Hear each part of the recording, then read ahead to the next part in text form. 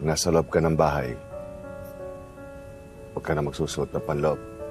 男人刚说完，便将刚拿出的手指放在嘴里肆意吮吸，而他明目张胆的动作，让一旁的女孩又羞又恼。可即使再不情愿，赛琳娜也只能乖乖听话，因为一旦反抗，就会遭到男人的毒打与折磨。毕竟她面对的可是当地最残暴的财主戈迪亚。他早年穷困无恶不作，后来不知道在哪学来了炼金术，便从村民们的手里低价回收首饰，再将其中的黄金提炼出来。在那个战争年代，金钱就是最好的护身符。戈迪亚很快就称霸一方，有不少村民都来向他借钱补贴家用。可是他收的利息高得吓人，还不起钱的村民就只能用自家女儿抵债，而这也大大满足了戈迪亚的变态欲望。他总是会强迫女孩们做羞耻的事，一不顺心就对他们非打即骂。很快这些女孩就受不了了，直到女孩疯了，戈迪亚才会放他们离开。而赛琳娜就是这些女孩其中的一个。她的母亲早年因受不了父亲的家暴，选择结束了自己的生命，而父亲更是嗜赌成性，欠下了一大笔赌债，眼看还不上了，父亲就将他拖到了戈迪亚的家里。为了能够多卖一些钱，他还在戈迪亚的面前大肆说起了女儿的隐私。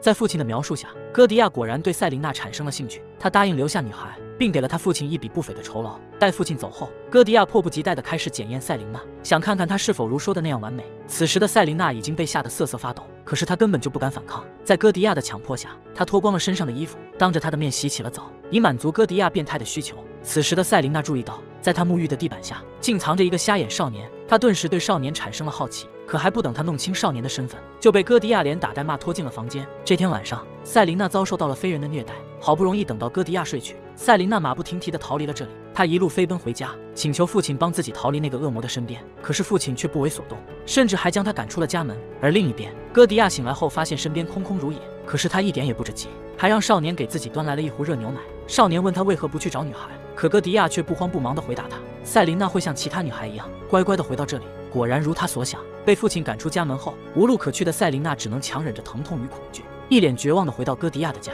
男人依依不舍放下手指，脚却不由自主地伸到了桌下。变态的举动让女孩十分羞愤，可是她却不敢有任何的反抗，只能默默地承受男人带给她的折磨。可是就是这样的软弱，才让戈迪亚将她的尊严踩在脚底下。孤立无援的赛琳娜知道，想要活下去，只能忍气吞声待在戈迪亚的身边，然后静待时机出逃。在此期间，她发现这个家除了戈迪亚之外，还有一个瞎眼少年多蒙。多蒙和他一样，也是被人送来抵债的。戈迪亚对外宣称他是养子。实则将他当成奴隶使唤，不但要负责家里所有的劳作，还要忍受戈迪亚的拳脚相加。多蒙也不是没有试过逃跑，可在被戈迪亚抓到后，不仅遭受了一顿毒打，还被残忍的烫瞎了一只眼睛。此后，多蒙便忍气吞声的活着，丝毫不敢再有逃跑的想法。或许是出于对赛琳娜的同病相怜，多蒙主动提醒他，在戈迪亚的面前要学会忍耐。可赛琳娜并不想一直屈服于戈迪亚，她知道能够打动一个人的，不仅是金钱和地位，还有感情。因此，他刻意开始对戈迪亚温柔以待。在面对戈迪亚的嘲讽时，他一脸幽怨地问他：“Ang sabi ng aking amay pagmamayari mo na raw ako,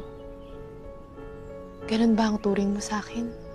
赛琳娜大胆娇羞的模样，就连变态的戈迪亚看了都心头一颤。他突然发现自己似乎被赛琳娜深深吸引了，而在他的温柔乡里，戈迪亚竟有了恋爱的感觉。为了哄赛琳娜高兴，他破天荒地拿出藏有金条的盒子，从中挑选了一条精美的项链，亲自给赛琳娜戴上，而他整个人也开始变得柔和。就连村民们也发现，这个平日里喜怒无常的男人，竟开始有了和蔼的笑容。戈迪亚也为自己的这一变化感到惊讶，他确信自己一定是爱上了赛琳娜。可化身恋爱脑的戈迪亚丝毫没有察觉到赛琳娜的异常，也毫无防备地走进了赛琳娜早已设好的圈套。五十岁男人爱上了十七岁妙龄少女，整日与她虚度光阴。不出半个月，男人的身体变得十分憔悴，可他依旧十分享受这样的生活。殊不知，自己已经进入了女孩设好的圈套。为了试探戈迪亚对他的态度，趁他睡着后，赛琳娜打开了他藏有黄金的柜子，从中偷偷拿走了一条项链。果不其然，第二天戈迪亚发现后，将事情怪罪到了多蒙的头上。赛琳娜见状，给他递上了一把砍刀，这让残暴的戈迪亚都愣了一下。他认为这是赛琳娜忠诚的表现，开心之余便不再殴打多蒙，而多蒙则认为是赛琳娜拯救了自己，心里对他感激涕零。为了不再让戈迪亚起疑心，赛琳娜主动关心他的风湿病，温暖的举动让戈迪亚顿时感动不已。殊不知他刚睡着。赛琳娜转身又找到多蒙慰问起他的伤势，甚至还给了他一个甜蜜的吻。赛琳娜的关心让多蒙的心充满了希望，他决定完全服从赛琳娜的安排。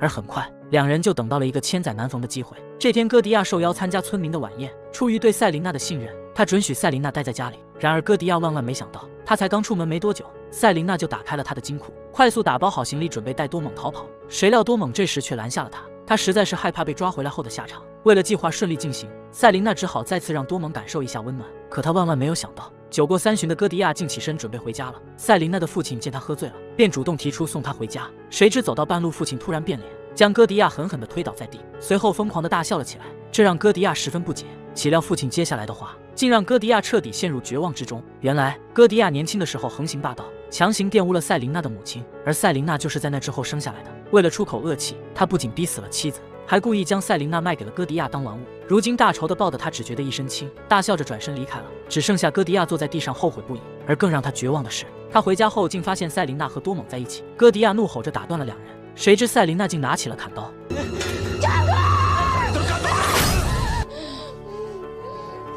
直到生命的最后一刻，歌迪亚也没有选择将真相说出来。这也许是他对女儿最后的赎罪吧。歌迪亚死后，赛琳娜一把火烧了他的家，带着多蒙逃离了这里。可是他并没有选择和多蒙在一起，而是从众多黄金中挑选了最小的一根项链，戴在了多蒙的脖子上。在他的计划里，多蒙从始至终不过是一颗棋子，而他只想为自己赢得光明的未来。